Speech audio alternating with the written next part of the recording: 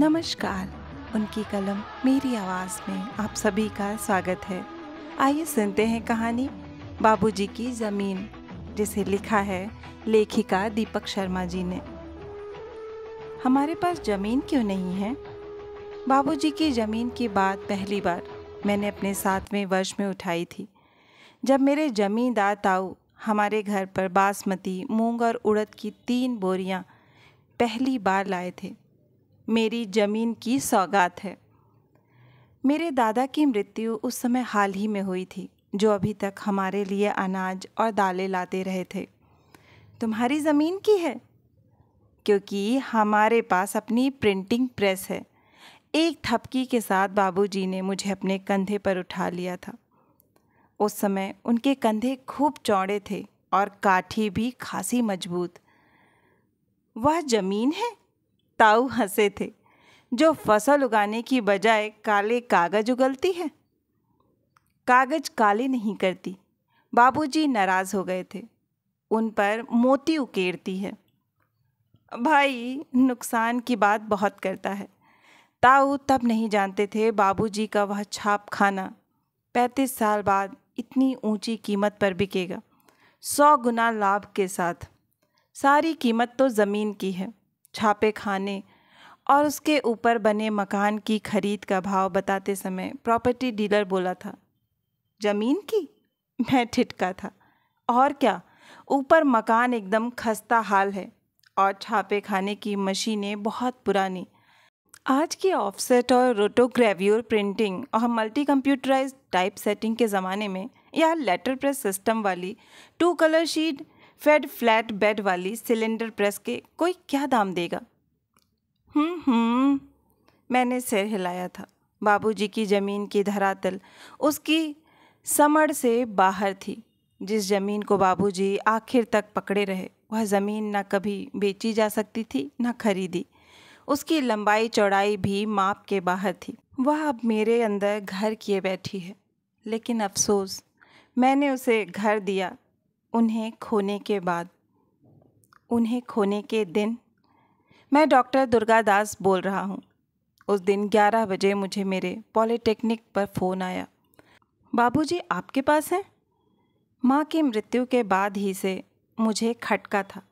बाबूजी की तकलीफ़ मुझसे पहले इन्हीं three uncle, doctor Durga Das का उल्लेख हम इसी नाम से करते हैं, के पास पहुँचेगी। हाँ उन्हें दिल का दौरा पड़ा है। मैंने अपने नर्सिंग होम में दाखिल करा दिया है। आईसीयू के केबिन नंबर पाँच में है। तुम्हें फ़ौरन आ जाना चाहिए। मैं पहुँच रहा हूँ। मेरे पॉलिटेक्निक से छापे खाने की दूरी 20 किलोमीटर से कुछ ऊपर ही थी। बल्कि इसी दूरी का हवाला देते हुए मैंने बाबूजी का मकान उन्नीस सौ बानवे ही में छोड़ दिया था। उसी साल मुझे इस पॉलिटेक्निक में अध्यापन कार्य मिला था। और यहाँ के छात्रावास का एक कमरा मुझे सहज में मिल गया था। मेरे विवाह के उपरांत फिर यहाँ के आवास क्षेत्र का एक फ्लैट ही मुझे नियमानुसार अलॉट कर दिया गया था और माँ और बाबूजी से पारस्परिक दूरी बनाए रखने का यह दोहरा कारण बन गया था। असली कारण कुछ और था। असल में अपनी किशोरावस्था तक पहुँचते पहुँचते माँ और बाबूजी के प्रति मेरी बचपन की आस्था लड़खड़ाने लगी थी। माँ के गैर हिंदू होने के भेद को समझ लेने के कारण। और यह समझ, मेरे कुछ परिचित ठाकुर परिवारों और बाबूजी के परिवारजन के माँ के प्रति अलगाव भरे व्यवहार से उपजी थी और साल दर साल बढ़ती चली गई थी। एक नए भय के साथ ईसाई धर्म की माँ के बेटे होने के नाते विशुद्ध यह ठाकुर लोग कहीं मुझे अलग न छिटक दें। एक नए क्रोध के साथ बाबूजी ने उन्हें मेरी माँ बनाकर क्यों मुझे वंशागत कुलीनता से वंचित कर दिया? एक नई वितृष्णा के साथ बाबूजी के निरीश्वरवाद के प्रति, माँ के यीशु मसीह को अपना ईश्वर मानने के प्रति। फिर माँ और बाबूजी से विमुख होकर मैं अपने ताऊ ताई की ओर घूम पड़ा था। अपने विवाह की व्यवस्था और आयोजन के लिए भी मैंने उन्हीं को आगे किया था। मेरी पत्नी उन्हीं की देखी भाली विशुद्ध प्रजनित ठाकुर परिवार से रही, जिसे माँ को एक गृह स्वामिनी के अधिकार देने स्वीकार्य नहीं थे। नर्सिंग होम के आईसीयू के बाहर सबसे पहले मुझे अपना पुराना नौकर कुंदन दिखाई दिया और बाद में बाबूजी के छापे खाने के पाँचों कर्मचारी सभी सकते में थे। बाबूजी कैसे हैं? मैंने पूछा। कुछ मालूम नहीं, कुंदन ने कहा। मैं कैबिन नंबर पाँच में बढ़ लिया। थ्रेडी अंकल एक समूह के साथ वहाँ बाबूजी का ब्लड प्रेशर माप रहे थे।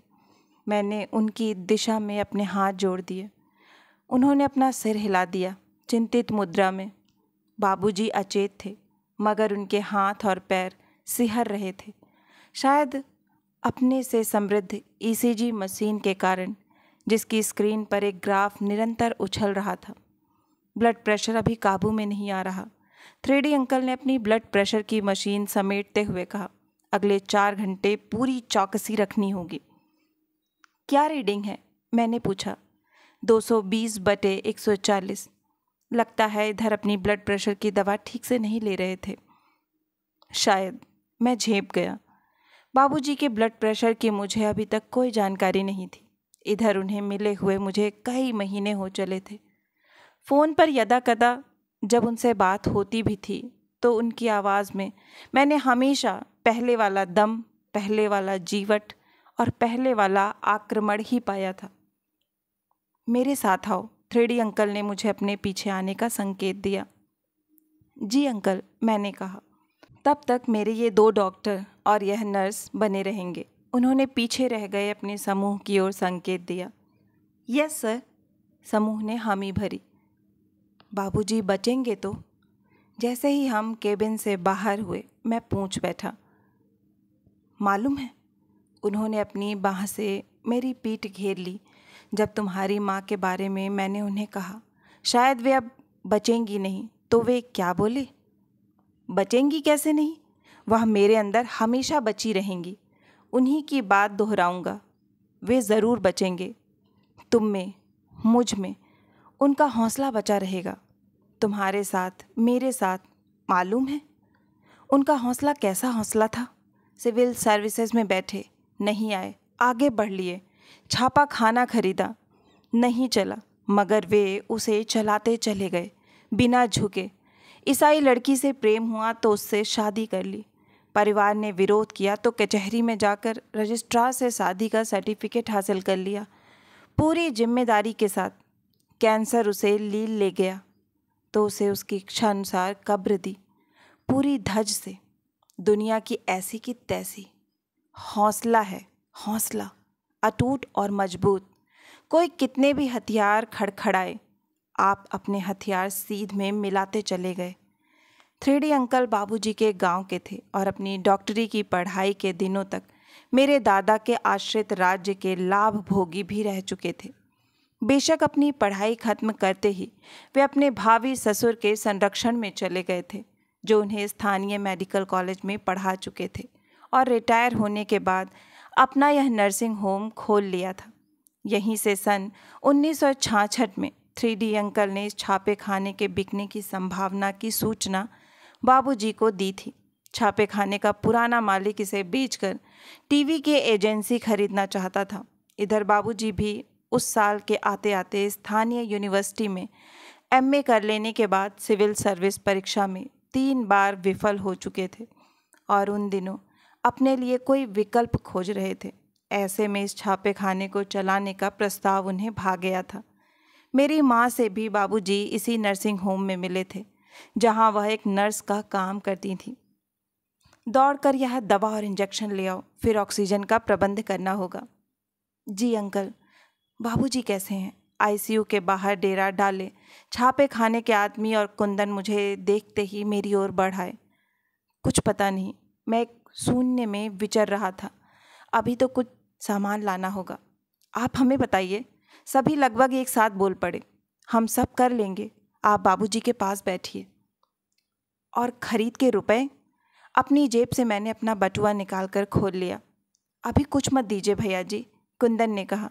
इस इलाके का चप्पा चप्पा बाबूजी को जानता है, मानता है। हम राम प्रसाद के साथ विंध्याचल को भेज देते हैं और ये सारा सामान अभी लाए देते हैं। थ्री अंकल की पर्ची मैंने ना बढ़े हाथों में थमा दी। आज सुबह ही से बाबूजी का जी अच्छा नहीं था। कुंदन ने मुझे स्निग्धता दिखाई। अम्मा की अलमारी खोले बैठे थे। चाय नहीं पी, नाश्ता नहीं किया, नहाए नहीं। आठ बजे हमें फूल लिवाने भेज दिए। हम समझ लिए, अम्मा की समाधि पर आज फिर जाएँगे। पत्नी के ऐसे भक्त हमने बिरले ही देखे हैं। साढ़े आठ के करीब हमारे पास आए हैं। एक प्रेसमैन भी शुरू हो लिया। हाथ का मेक रेडी फॉर्म हमें थमाए हैं। फिर चेस में जब हम लेआउट जमाने लगे हैं तो हमसे बोले हैं लॉकअप करते समय कलर वाले फॉर्म की अंडर का ज़रूर ध्यान रखना। कोई तस्वीर आउट ऑफ़ रजिस्टर ना होने पाए। इस फॉर्म की तैयारी में मैंने बहुत घंटे खपाए हैं और हम हंसे हैं। मेक रेडी का यह चक्कर अब छोड़िए। नई मशीनें लाइए और इलेक्ट्रॉनिक पेज मेकअप शुरू करवाइए। और बाबूजी ने क्या जवाब दिया? मैं उत्सुक हो लिया। दो तीन साल पहले जब मैंने उन्हें यह सुझाव दिया था तो वे मुझ पर डपट पड़े थे। जब यह छापा खाना मेरे साथ ख़त्म ही होने वाला है तो तुम इसकी फ़िक्र क्यों रखते हो? जवाब वही पुराना। वह प्रेसमैन गंभीर हो गया। ये मशीनें मुझे पहचानती हैं और मैं इन्हें। इस जवाब पर सिलेंडर का प्लेट लगा रहे विंध्याचल भी हंस दिए हैं। नई मशीनें भी पहचान लेंगी। आप उन्हें लाइए तो। शहर के प्राइम कमर्शियल एरिया पर आपका छापा खाना खड़ा है। इसका एक चौथाई हिस्सा भी बेचेंगे तो उन मशीनों की खरीद निकल आएगी और बाबूजी झल्लाए हैं। चलो, अभी तो काम शुरू करो। फिर करीम रबर रोलर पर इंक लगाए हैं। दूसरा प्रेसमैन बोला, और रशीद फाउंटेन को एडजस्ट करने में लग गए हैं। और इधर हम ग्रिपर से डिलीवरी करने को अपनी ट्रे तैयार किए हैं और सोच रहे हैं, बाबूजी प्रेस का बटन अभी दबाएँ कि दबाएँ? कि तभी देखते हैं कि एकाएक फर्श पर बैठ लिए हैं और डॉक्टर साहब का नाम पुकारे हैं। डीडी और राम प्रसाद नर्सिंग होम की तरफ़ दौड़ पड़े हैं। और हमसे जो अम्मा की समाधि के लिए फूल मंगवाए हैं, हम वे फूल लिए हक्के बक्के खड़े हैं। कुंदन ने कहा, जब डॉक्टर साहब अपने नर्सिंग होम से बाबूजी के लिए स्ट्रेचर मंगवाए हैं। तीसरे घंटे जब बाबूजी की चेतना लौटी तो उस समय मैं उनके साथ था, अकेला। इस बीच ऑक्सीजन का प्रबंध भी मुझसे सुलह करनी होती, वे ऐसे ही अंग्रेजियत दिखाया करते। थ्रेडी अंकल को बुलाऊं?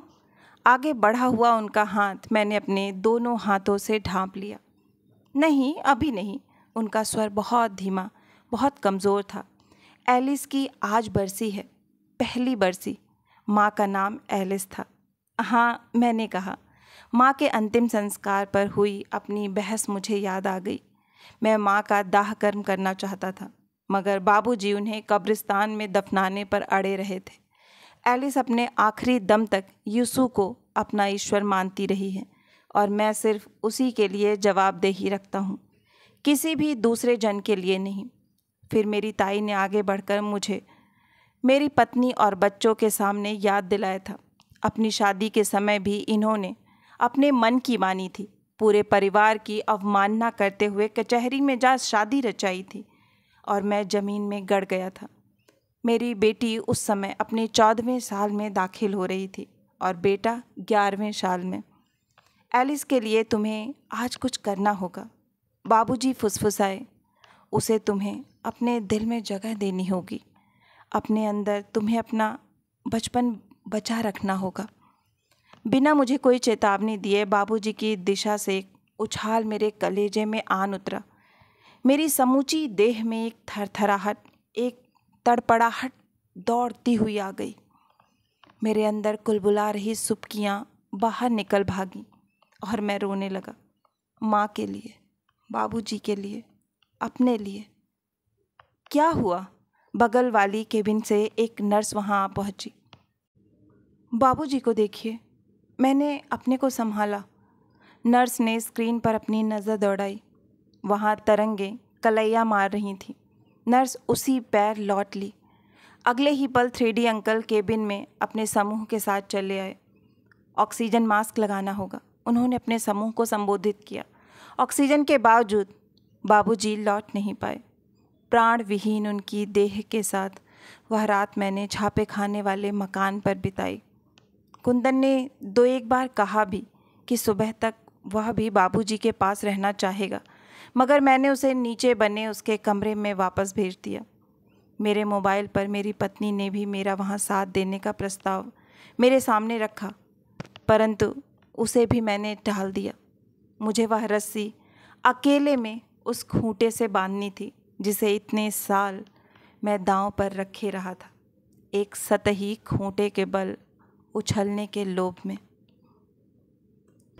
आशा है कि यह हृदय स्पर्शी कहानी आपको बहुत ही पसंद आई होगी। अगर कहानी पसंद आई है तो मुझे प्रोत्साहित करने के लिए लाइक करें। अपनों के साथ ज़्यादा से ज़्यादा शेयर करें। नीचे कमेंट बॉक्स में कमेंट करके बताएँ कि आपको कहानी कैसी लगी। और अगर आप इस परिवार का हिस्सा बनना चाहते हैं तो इस चैनल को सब्सक्राइब करें। और हाँ नोटिफिकेशन बेल ज़रूर दबाएँ, जिससे आगे आने वाली हर कहानियाँ आपको समय पर मिलती रहें। फिर मिलती हूँ एक नई कहानी या कविता के साथ। तब तक के लिए आप सभी का कहानी सुनने के लिए बहुत बहुत धन्यवाद।